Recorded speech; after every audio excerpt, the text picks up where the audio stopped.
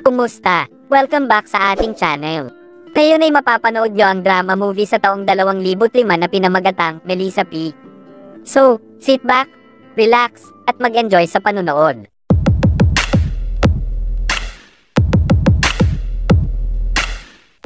Sa panimula ng istorya ay makikitang busy at nagmamadaling magbihis ang ina ni Melissa na si Daria. Nakiusap siya sa kanyang biyanan na si Elvira na gisingin si Melissa dahil malilate na ito sa eskwela pero hindi ito nakakarinig dahil sa lakas ng musika na pinapakinggan niya. Samantala makikitang gising na si Melissa pero busy ito kakatingin sa salamin. Inimas-imas niya ang sarili at pinaandar ang imahinasyon habang tinitingnan ang refleksyon. Dali-dali niyang tinagpan ang kanyang katawan ng paparating na ang ina. Tumating na ang panahon na matagal nang hinihintay ni Melissa at iyon ay ang summer. Inimbitahan sila ng kaibigan niyang si Manuela sa isang pool party. Naroon ang lalaking matagal ng gusto ni Melissa kaya gusto sana niyang umuwi na lang dahil sa kaba niya pero mapilit si Manuela na mamit na ng kaibigan ang matagal na niyang crush. Pagkapasok ay agad silang sinalubong ni Daniel tapos nagpakilala si Melissa sa kanya. Nagpunta si Melissa malapit sa pool tapos bigla siyang hinila ni Daniel. Sumigaw si Manuela dahil hindi marunong lumangoy si Melissa. Dali-dali naman siyang tinulungan nito. Nagpunta sila sa paboritong hardin ni Daniel. Nag-usap sila tungkol sa buhay ni Melissa at ng kanyang pamilya. Matapos nun ay tinanong siya ni Daniel kung birhen pa ba siya at sinagot naman niyang oo.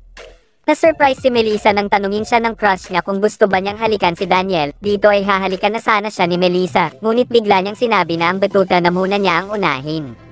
Hindi siya nasiyahan sa performance ni Melissa kaya huminto siya at sinabing baka sa susunod maaari nang makahalik si Melissa sa mga bibig niya. Matapos nun ay hindi na niya muling nakita si Daniel at buong summer niyang inisip at inasahan ang tawag nito pero wala siyang kahit anong balita mula sa kanya. Panahon na ng taglagas at patuloy pa ring iniisip ni Melissa ang crush niya. Sinabihan siya ng best friend nito na tumigil na siya sa kakaisip kay Daniel pero hindi niya magawa kahit nasa klase ay iniisip niya pa rin ito. Nagsulat siya sa kanyang diary at nilahad-lahat ng nararamdaman niya na miss na miss na niya ito at gusto na niyang makita ulit si Daniel. Sa PE lesson nila ay umakyat siya sa pole. Maya-maya ay ini-imagine niyang nakipag-ano siya kay Daniel. Napansin siya ng bago nilang kaklase na si Marco pero di na siya pinakialaman nito. Sinaysay niya sa diary niya na dati pa niyang gustong gusto na galawin siya ni Daniel pero ngayon ay mas lalong lumala ang pagkagusto niya na masubukan ito sa kanya. Nabalitaan ni Manuela na nakabalik na si Daniel kaya pinuntahan nila kaagad ito upang makapag-usap sila ng personal. Naglalaro sila ng billiards tapos nakita ni Arnaldo si Melissa kaya sinabi niya ito kaagad kay Daniel.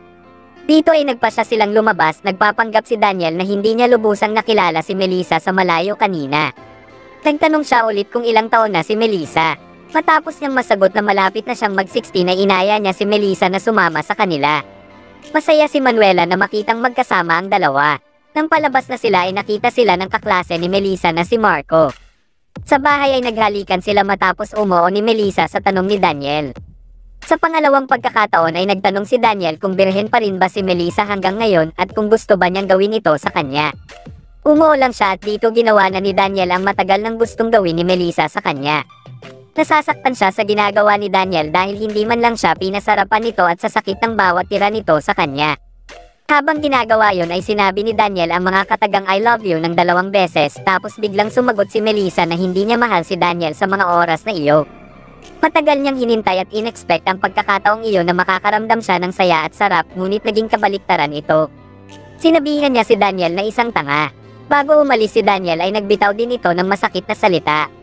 Nag-enroll si Melissa ng swimming lesson tapos gusto sana niyang magsumbong sa kanyang ama upang puntahan ito sa bahay nila at bugbugin pero nagpasya siyang wag na lang ituloy.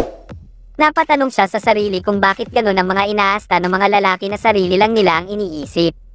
Dito ay nagdesisyon siyang gumanti at natuto siyang isipin lang ang sarili niyang kaligayahan. May sakit sa puso ang lola niya kaya nagpasya si Daria na dalhin ito sa isang facility upang tuluyan na itong gumaling at makaiwas na sa paninigarilyo.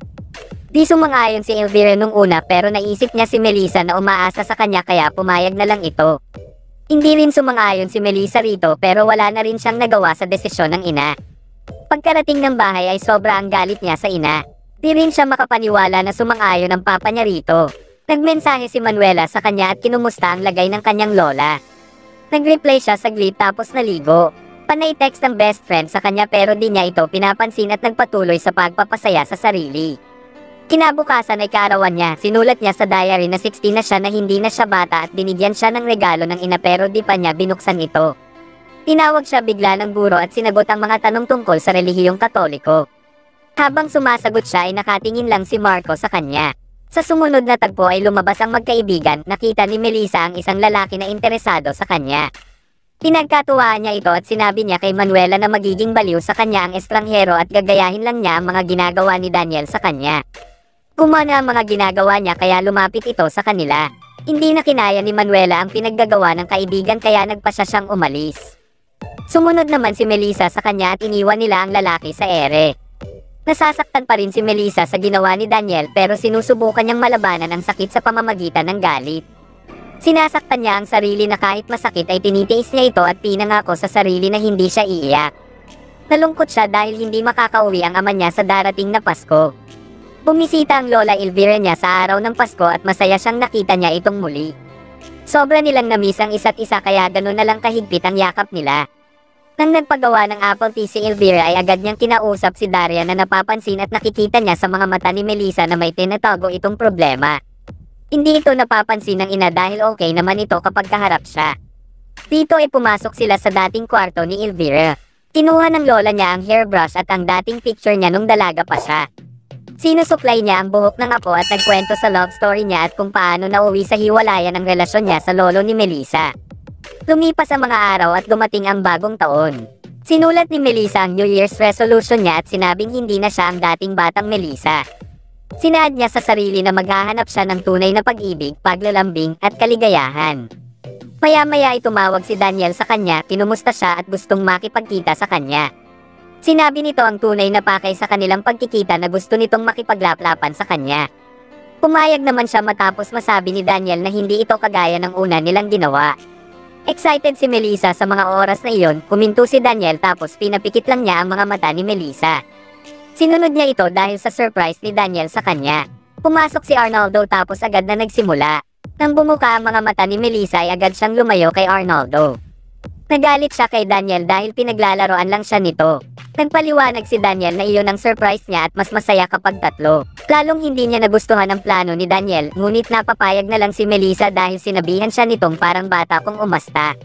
Pinakita niya sa dalawa ang bagong Melissa at pinatunayan niya ito nang simulan ang gusto ni Daniel kay Arnaldo.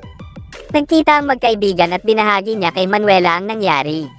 Na-curious si Manuela kung naramdaman ba ni Melissa ang matagal na niyang inasam-asam, ngunit sinagot siya nitong hindi. Nagkaroon sila ng field trip sa isang museum at doon nagustuhan niya ang isang painting na may babaeng nakalutang sa ere.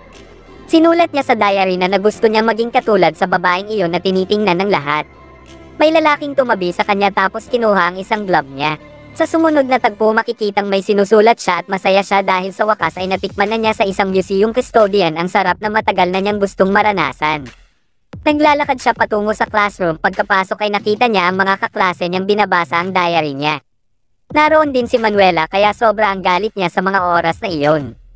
Sinubukan niyang kuhanin ito pero pinasa ito sa isang kaklase, buti na lang ay naroon si Marco at tinulungan siyang makuha ito. Naiyak siya sa galit dahil ang tingin nila sa kanya ay isang babaeng mababa ang lipad. Nagpasya siyang bumili ng sexing damit at habang nakasakay sa bus ay kinausap niya ang sarili na iba siya sa lahat dahil may lakas na loob siyang magpakatotoo sa sarili. Binisita niya ang lola Elvira niya tapos nakita itong may lalaking kausap. Nang makita niyang nagyakapan sila ay masaya siya para sa kanyang lola. Napatanong siya kung may lalaki pa bang tatretuhin siyang ganon. Sa sumunod na araw ay nakita siya ni Manuela. Gusto sana nitong sabay silang papasok pero tinanggihan niya ang alok nito tapos naglakad. Habang nakikinig ng music ay feel na feel ni Melissa ang pagiging malaya niya at ini-enjoy ang moment na iyon.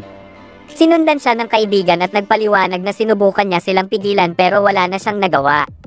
Hindi nakita o narinig ni Melissa ang sinabi ni Manuela dahil sa lakas ng music na pinapakinggan niya. Naroon si Marco sa malapit kay Melissa at napatitig siya rito. May tumatawag sa cellphone ni Melissa kaya pinuntahan niya ito at sinabing may tumatawag sa kanya. Sinagot niya ang tawag at laking pagtataka niya kung bakit siya tinawagan ni Arnaldo. Dito ay piniringan siya, wala siyang kamalay-malay kung ano ang binabalak nito sa kanya. Pagkarating sa babae natakot siya bigla at umayaw na pero pinilit siya ni Arnaldo. May apat pang kalalakihan at sila ay ang mga barkada ni Arnaldo kasama na rin dito si Daniel. Pinagtulungan siya ng lima, hindi na siya nakapalag dahil nagustuhan niya rin ang ginagawa nila sa kanya tapos pinakanta siya isa-isa sa kanila. Matapos ang pangyayaring iyon ay galit siya sa sarili kung bakit niya nagawa iyon. Pagpasok niya sa eskwelahan ay sumalubong sa kanya drawing na may malaking bituta at sa gitna nito ay ang pangalan niya. Sirang-sira na ang reputasyon niya sa lahat matapos ang non. Nagkulong siya sa kwarto at nakipag-chat sa di niya kilalang lalaki. Binahagi niya ang karanasan niya sa limang tao at gusto ring makipagkita sa kanya ang estranghero tapos pumayag naman siya rito. Agad niyang tinungo ang apartment at nagpanggap na kikitain niya ang ama. Pinapapili siya ng mga damit na isusuot niya. Samantala isusurprise sana ni Daria si Melissa sa regalo niya pero nakatanggap siya ng tawag tungkol kay Elvira na malubha ang lagay nito. Agad na tinawag ni Daria si Melissa pero wala ito sa kwarto niya. Nakita niya ang diary ng anak, binuksan niya ito at binasa ang ilan. Nagulat siya nang makita ang mga hubad na larawan sa diary ni Melissa. Nagpunta siya sa ospital daladala ang diary ng anak.